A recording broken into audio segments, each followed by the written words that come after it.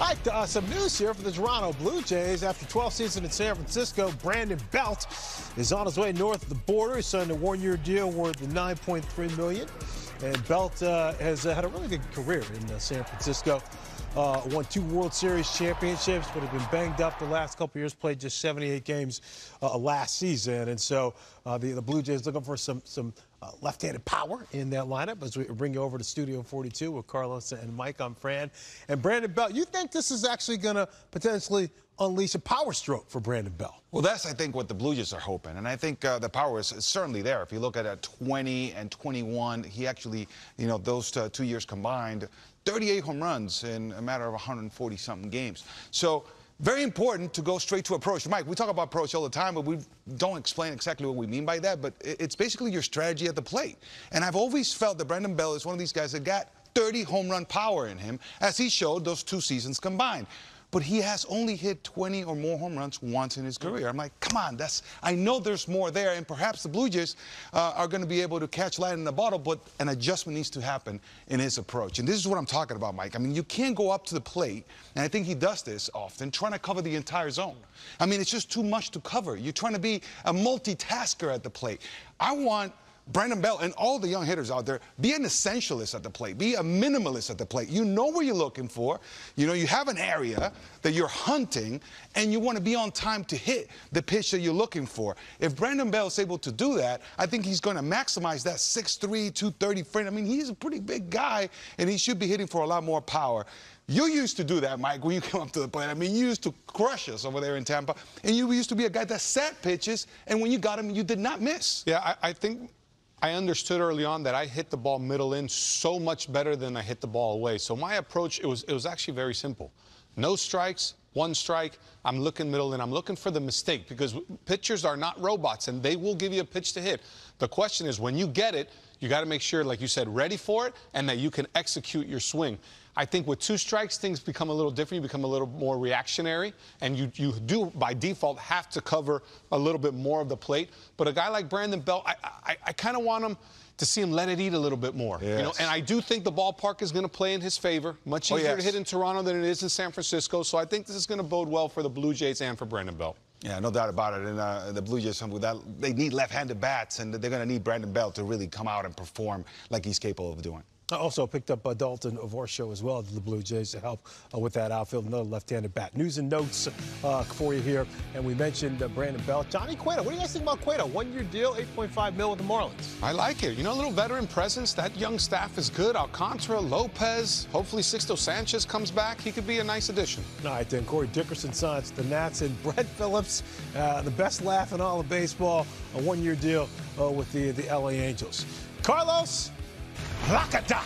Oh, we got him. Look at that. Oh, hunting. You, you know yeah, what? hunting pitches, baby. Actually, you might be able to see this guy do this this weekend. Uh, we'll explain. Uh, coming up after the break. Well, coming up uh, January 14th, the Polar Bear for his foundation, Pete Alonso, has the uh, the Battle for the Bay down in Tampa. It's having a home run derby. All the proceeds go to the uh, AlonsoFoundation.org. Uh, Big Pete was on Hot Stove Monday with uh, Harold and Matty V, and uh, he, he gave us the lineup. I'm really happy that I got a few uh, a few Tampa guys in this. Uh, so Christian Arroyo, uh, I grew up playing against him uh, practically every weekend during travel ball uh, when we were kids. Uh, Kyle Tucker, um, I mean, I'm high school teammates with him, and it's it was it's really easy for those guys. I know Gio Urshela when he was with the Yankees, he's spent a lot of time here with the with the Yankees, and he's a Tampa lover and uh, also really happy that the the Tampa Bay Ray great um, Carlos Pena's offering his time and, and talents of uh, hitting the ball a long way. He's going to be participating as well, and I know he's sweating, sweating right now, working uh, working hard in the cage, getting ready for it. Oh, you better believe it, Polar Bear. You better believe I'm getting ready. Look at that. Carlos Pena? Yeah, it's coming to a theater near you. How, how, how did this come up? When was the last time you swung a bat, by the way, for real? It's been a while. it's been a while, man. That's why I'm working right now. So, all right, so so tell the most home runs you hit in a year. You're, you're 46. 46. All right, so it's been a while. Damn. You got these young bucks, Kyle Tucker. I know, I man. Mean, uh, Polar, Polar Bear, what, what, you won the home run derby with twice? Yeah. yes, we, are going to. Yeah, I'm going. Are you going? Are you going to deadlift before the round? Oh, you know I'm going to try to get ready. No, I'm not yeah. going to do that. Like like like Definitely not going to do that. I might pull but the oblique if I do You that. better believe that I'm taking it seriously, right? Okay, I'm I'm gonna, right. I'm gonna prepare. Ah, I- I- but I only have a week, so you know, I better hurry. Hurry up. Sleep So, fast. You got a message for the polar bear if you beat him? Don't let me win, polar bear. You'll never hear the end of it. Don't let him win. This guy's a don't let him win. superhero, man. I- My money might be on Carlos Pena. Three,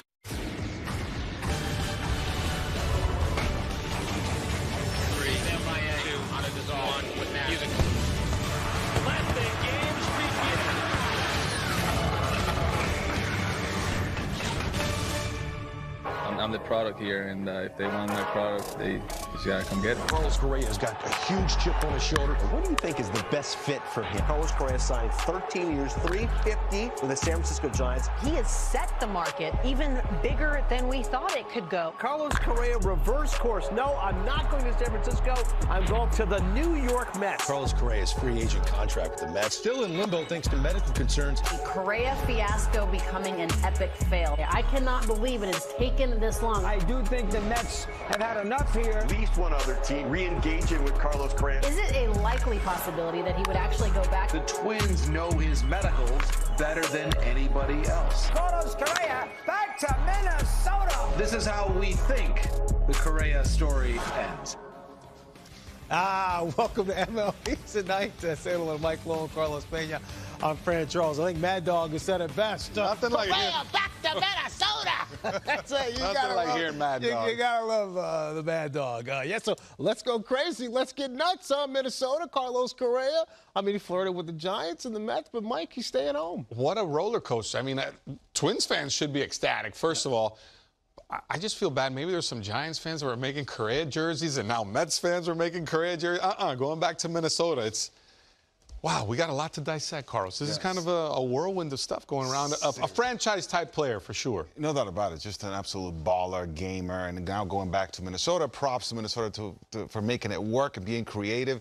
Yes, we do have a lot to dive into, and I can't wait to do so. Yeah, give the Minnesota Twins a lot of credit because uh, they were in on the initial talks, but the 10 years, 285 mil wasn't enough. But they, they kept at it and they kept tweaking and kept working. And here they came up with a creative deal that ended up working, and it sent a message. Red Sox shortstop Trevor Story underwent successful internal bracing procedure on the right ulnar collateral ligament in his elbow. That happened Monday. No timetable yet for the return. He was set to be the starting shortstop in 2023 with Xander Bogaerts signing with the Padres. Here is Chief Baseball Officer Chaim Bloom with more. While ramping up the throwing, Trevor experienced uh, pain in his elbow. Uh, this was just before Christmas. You know, it was clear that surgery was an option, and that's ultimately the option that uh, we decided to go with. You know, he felt good throughout the season. This that he what he experienced uh, in this incident was something new. We're not ready to put a timetable on it yet. You know, I, I certainly would not rule out a return sometime during 2023, uh, but it's also not something at this stage uh, that uh, we want to bank on. Um, you know, it'll take how long it takes. We want to make sure he's 100%. Um, but you know, certainly with this being uh, the internal brace procedure and not a not a Tommy John, uh, it does leave the door open for a return this season.